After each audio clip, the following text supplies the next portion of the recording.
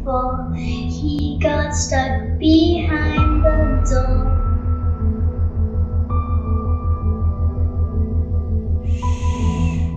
Just relax, David. Everything is going to be just fine.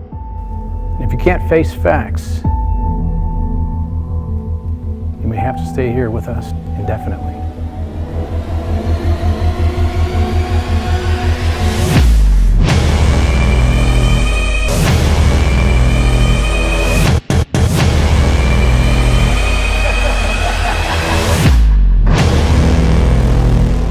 Another one?